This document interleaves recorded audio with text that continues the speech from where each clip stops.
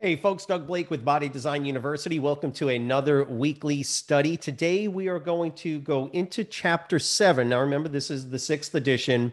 Uh, just keep in mind at this point, whenever we talk about material in the ACE textbook, it's always the sixth edition now. Uh, ACE has completely eliminated anything from the fifth edition and prior to that. So just keep in mind, you'll notice, and, and I've had some folks ask me, this was one of their original. See how I got the um, I got this binder for their sixth edition. So some folks have asked me, why do you have a binder on yours?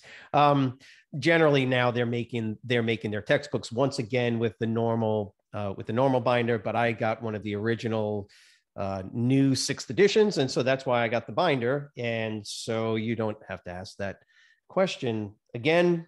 We are in chapter seven, and we're going to talk about body composition. And we bring this up because we do we do get questions quite often on um, body composition. In other words, body fat caliper testing versus you know skin fold versus the other methods of testing. And ACE has given you some information and, and a, a table basically on the different types of body comp testing. In other words, body fat. How do I measure body fat? And there are a couple of ways to do it and I think it was um, Arun. Hope I pronounced that correct. Arun, one of the students in our Facebook group, had asked a question, and he, you know, he posted the posted a picture of uh, the table seven three body comp assessments, and he asked a really good question. You know, how much do I need to know? So it's important that we that we kind of understand certain things about body composition and assessment methodology and that's one thing and that's why when we when we do the studies like this, it also gives an opportunity to help you as an aspiring personal trainer trying to pass your ACE exam to understand some other really important stuff about the very materials. And so there's always uh, two, you know, two sides to the coin. I want you to pass the test at Body Design University. We want you to pass the test, which means for the most part, you got to memorize information. And how do you memorize information?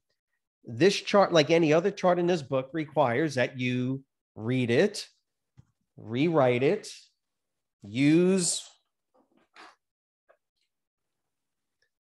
colored markers, do do whatever works for you to memorize the information. Again, I I like using colored markers and drawing things because they it tends to stick in stick in my brain. Um, not everybody, you know, it doesn't work for everybody like that. Some folks are better when they simply uh, rewrite it, but it's it. Remember, it's the physicality of using your hands to rewrite the material. It slows you down and forces you to think about the material. And if you do it over and over, it's just look, we got historical data on this. We know that people that do this over and over, it just gets, you know, it's like a it's like a, a bat over and over. You can't forget it. People tell us they have nightmares about it. They can't, they can't not re not forget the material if they do it over and over. Of course, I'm being facetious. It's good when that happens, especially when it's material like we're talking about here.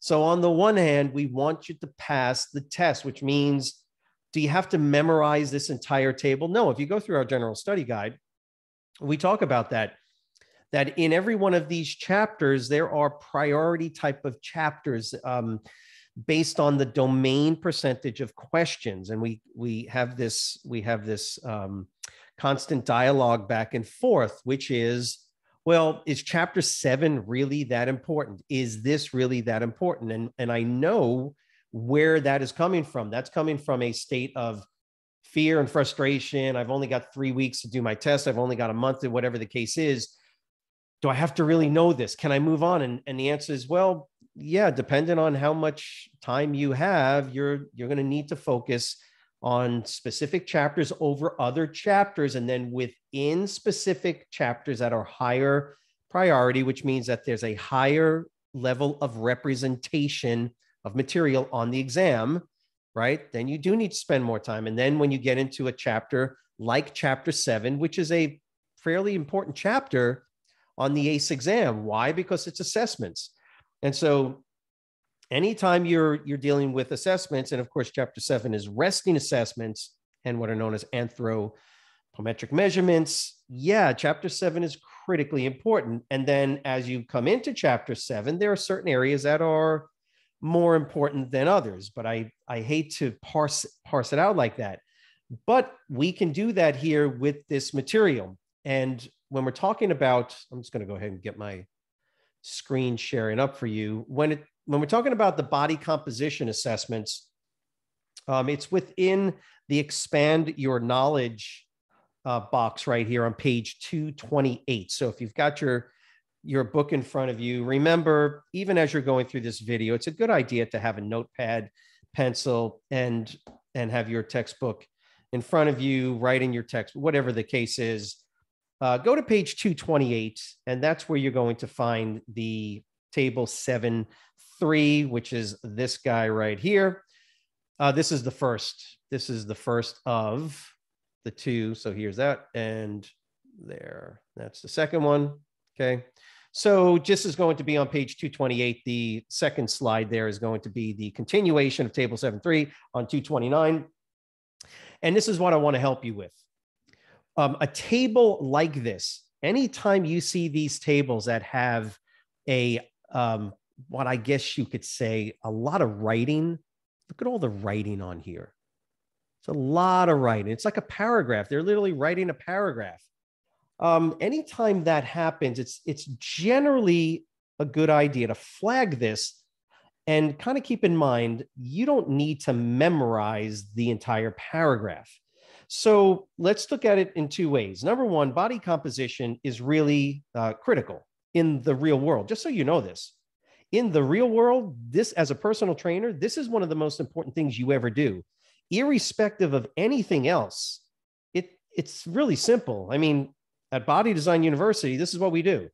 As a personal trainer for 30 years, this is what I did: body weight, body and body fat. That taught me what their comp, body comp is. Now I know how much fat they got to lose. I know how much lean muscle they have. Exercise and nutrition makes modifications to those two variables. That's really it. Now, I will do circumference measurements, but not every client wants to do circumference measurements. And, and ACE actually correctly states not everybody wants to do body fat. Now, I never gave my clients a choice. I'm going to be honest with you. If you're paying me money and I'm trying to get your results, oh, I'm going to get your body fat. Now, if you're obese, you're technically obese, a BMI of 30 or higher, and I can't get a uh, skin fold, I'm going to use a bioelectrical impedance device. Are they as accurate? No. And by the way, they they tell you that they're not as accurate.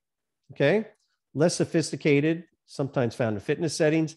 However, um, they are easy to use. But look at right here, their accuracy accuracy, okay, is um, probably the least accurate of all the of all. Unless you're, by the way, unless you're using a um, like a real high quality, like the InBody. So that's a that's a um, one where you step on it. So it's got the the foot electrodes and the hand electrodes. That one is pretty. That one's pretty good. But they but the standard handheld ones. I'm just telling you, this is this is the real world.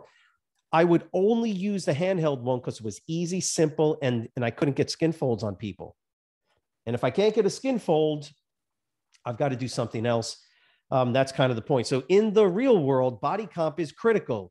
Passing your exam, passing the ACE exam, you need to know that this is one, you have bioelectrical impedance devices. And what's the critical thing to remember about bioelectrical impedance? Okay most important thing as you're reading through this is optimal hydration, okay? And validity of the prediction algorithms simply means that they are relatively, relatively, especially just the handheld ones, are, are some of the least accurate. Okay, that's the thing about bioelectrical impedance. Easy to use, not very accurate. Okay, doesn't mean they're not accurate. If you have everything on point, hydration is good and you're using the uh, a very expensive um, you know high level bioelectrical impedance device that uses the feet and the hands they can be they can be uh, pretty pretty accurate okay so the point is is that that's number one and what i would do is i would watch what i do if you can see me in the little box, number one, bioelectrical impedance device, and I would write relatively of all these options, relatively inaccurate, not as accurate, but really easy to use. And you know, that's why I would do that. Now, second on the list, on this list, is air displacement, okay, or the ADP, um, plethysmography. So pronounce that any way you want, okay? The bod pod, okay? This is way too expensive. Okay. So I don't I don't know anybody. I don't know anybody in the fitness setting that um that uses that, but it's can be pretty accurate. Okay. So air displacement, it's marketed for the fitness setting, but it is what? Cost prohibited. So I write this down. Air displacement, plethysmography, and the bod pod. Boom. And I write relatively accurate too expensive, right? It's too expensive. It's an egg shaped chamber. Now, you'll notice again, this entire column, in one sense, is not the highest priority for memorizing. And don't memorize a paragraph anyway. Just know that in this case, what I'm showing you is what you need to know. Okay. These guys right here on this column um, the DEXA scan, the DXA, dual energy X-ray absorptiometry. So a DEXA scan is a piece of equipment that is normally reserved for bone density testing for for women. Okay, so you know the average female client over the age of 40 or 50 whatever the case is they'll get a dexa scan done on a regular you know every year or every couple of years to check their bone density obviously a machine that can check bone density can obviously check the density of pretty much any body tissue, which is why now, now, although it's found in clinical settings, guess what? It has the ability to identify regional body fat and is a whole body scanning system. Okay, reads bone and soft tissue mass. Believe it or not, today, DEXA scanning is probably um, when done properly and the person is in the right physiological condition, hydration wise, DEXA scanning could be probably the most accurate way to get a body fat body composition. Um, and that's what we're seeing now is more and more um, higher level higher level data collection or more exacting data collection on body composition being done using the DEXA scan. Okay, once again, nobody in the fitness industry is using you're not going to find them in health clubs. That's just the reality of it. So what do you write? DEXA. Now, I always write DEXA just because I want to remember the word, but it's DXA, DEXA scan. Um, too expensive, research found in hospital, you know, research, hospitals, things like that. It's not generally used in the fitness industry. Obviously, you need a you need a technician. It's clinical stuff. So you're not going to have your clients using it. There you go. That's about all you need to know on the on the DEXA scan. And again, I just grabbed the uh, table seven three continued, and um, so now you're here with hydrostatic weighing, which is what we call the gold standard. So what do you do? You write this down. This is the this is the submerging uh, water submersion testing. We call it the gold standard. Why?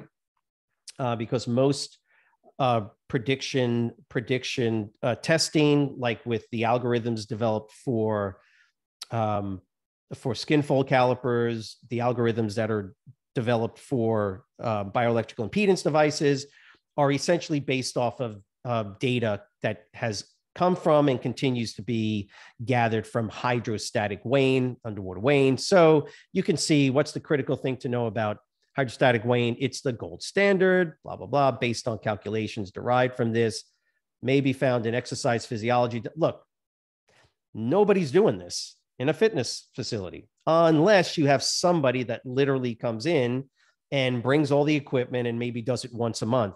Um, you can actually hire, there are there are companies that have uh, dunk tanks in trucks and they'll drive in with their dunk tank and their truck they'll park it get everything set up and then you can have your clients walk up in there and they can get there but it's very expensive Okay. Very expensive. So uh, you can read through this and it basically explains uh, explains what it is. But the fact of the matter is, nobody's using it. It's too expensive, just like all the other ones, and it's uh, basically out of the reach of the average fitness professional because you're not you're not going to a college or a university to get it done. And and don't get me wrong, if you have a hundred clients and you have a, a thriving personal training business, then sure, hire hire one of these companies to drive their truck in with a with a dunk tank, and do it on a Saturday, and you're going to spend uh, you're going to spend a couple of thousand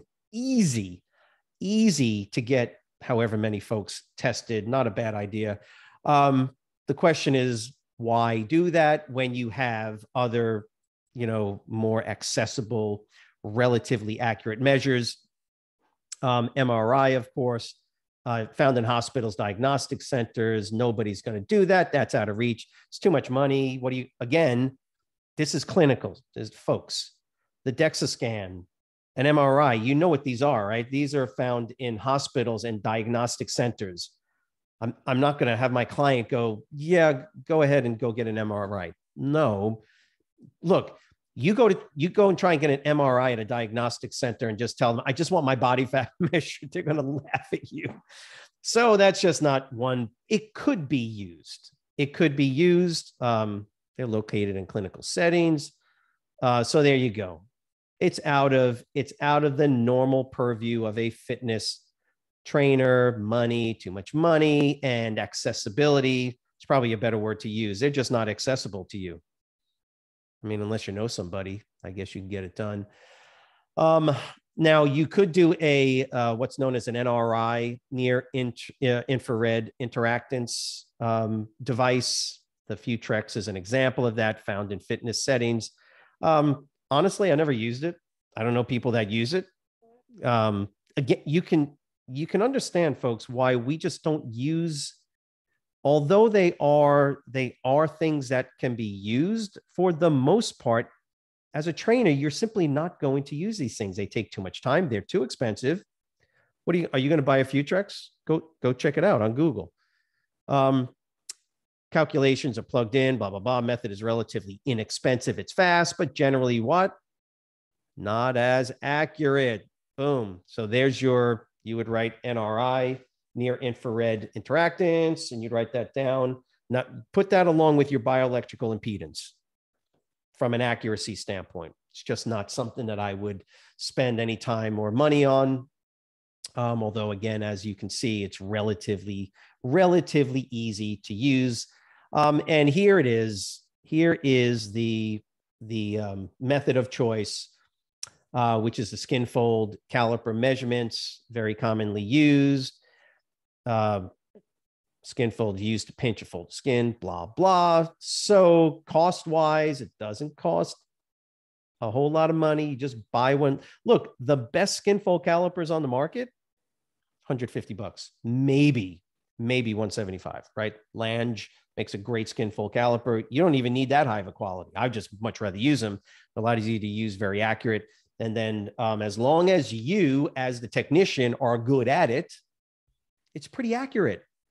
And by the way, if if you're the technician and you do it on the same sites all the time, same squeeze, tension, all this other stuff, from one measurement to the next, you can be very, very close to um, to underwater or hydrostatic weighing levels of accuracy. Okay, so that's our. There it is. I'm going to give you a couple of more check marks. There's our there's our deal right there. That's generally what we use. So you write that down skin fold, easy, relatively easy to use, relatively accurate, simple, cost effective, and you can knock it out in a couple of minutes to get a to get your measurements. You can do multiple skin, you can do a three skin fold, you can do a five, you can do a seven, um, any number of ways that you can use it. Uh, finally, is the total body conductivity, electromagnetic. Okay, you you already lost me. Did you just say electromagnetic force field to assess? Come on, it's impractical. Ain't nobody using it. Too expensive.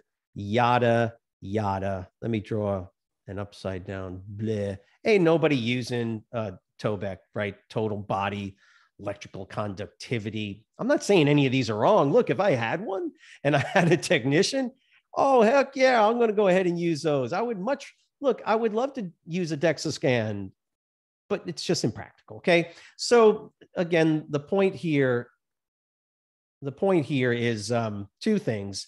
In order to in order to pass the exam, and you will see maybe one question. Sometimes you may see two. You're not going to see 10 questions on on body comp.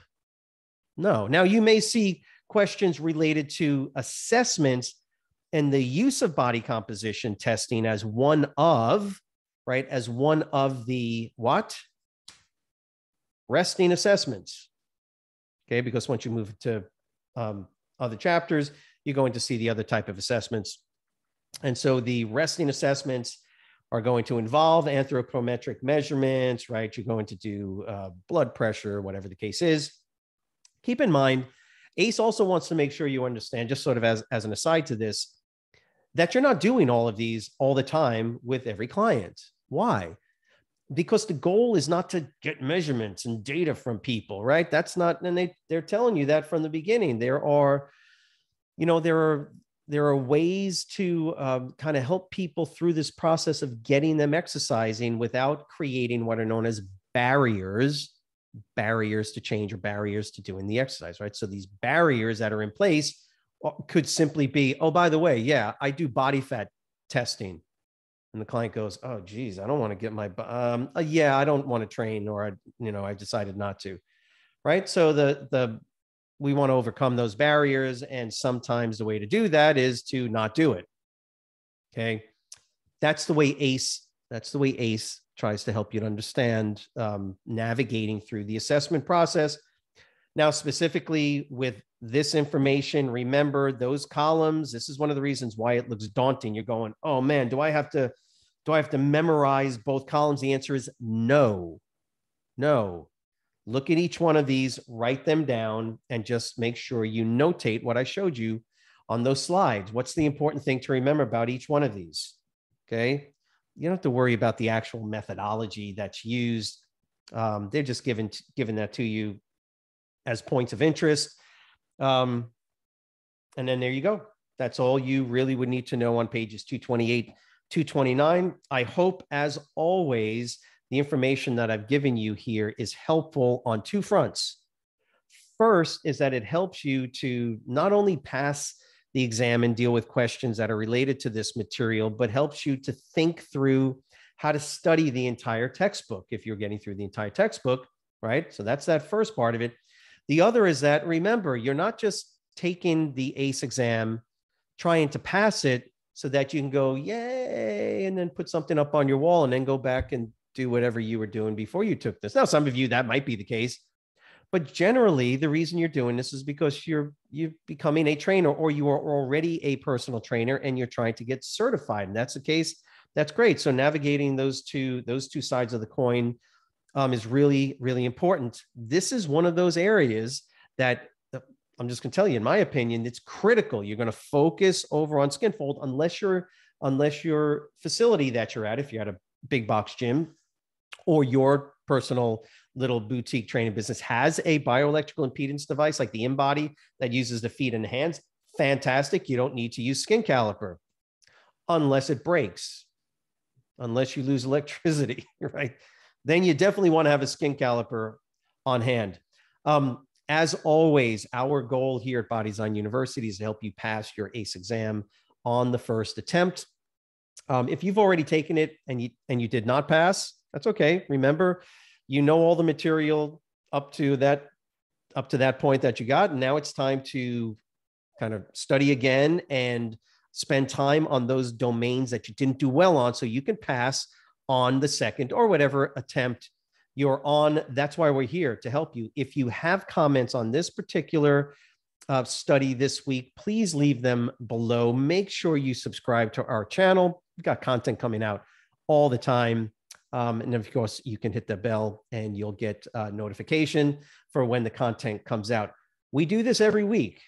Every week, we put something out there, and it's you that actually helps us to decide what it is we're going to we're going to study that particular week, just let us know how we can help and assist. Um, and have a great weekend. We will see you next week. Bye.